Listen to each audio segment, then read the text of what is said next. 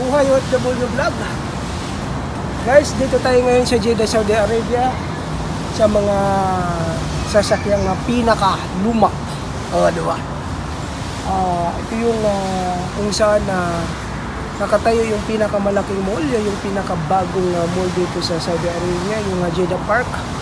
Kaya ngayon guys, ah, papakita ko sa inyo yung mga display nilang ah, mga lumang ah, car or sinasabing vintage car ba? Tama ba yun? Hmm. Okay, ito na. Okay. Tara, bilis!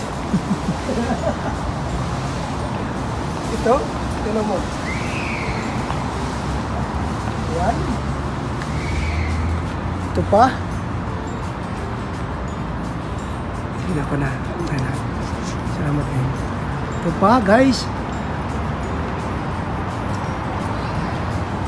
Sa mga mahilig mangoleksyon ng vintage car. Sa limang taon o sa anim na taon ako dito ngayon lang ako nakakita ng ganitong uh, display ng car nila. Siguro hindi ko alam kung saan ang galing to pero sa pagbukas nito is uh, naka-display agad.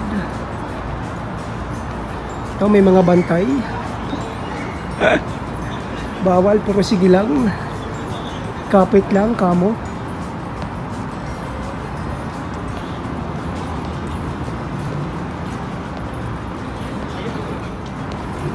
yung the best. The best among the rest. Oh di ba? Nakakatawa. And then buhay OFW vlog guys. Just follow me guys.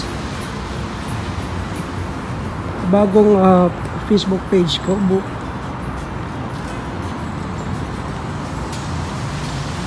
ano, YouTube.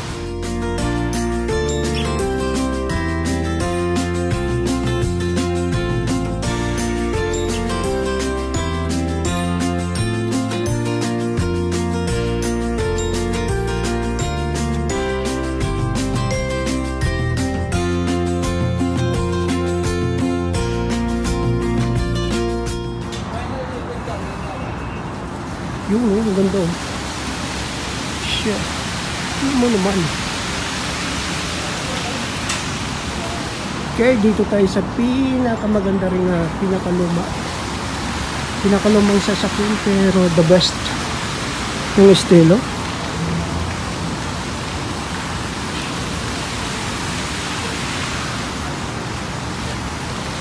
Yung tinan niyo yung ano, really sila dati.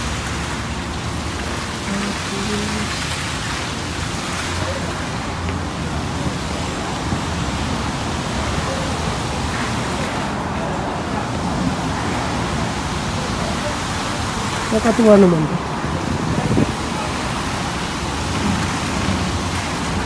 Ang butch.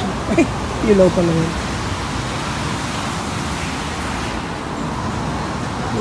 Okay guys, ah, dito na lang. See you in next video guys. Ah, please follow sa ating Facebook page. Maraming salamat.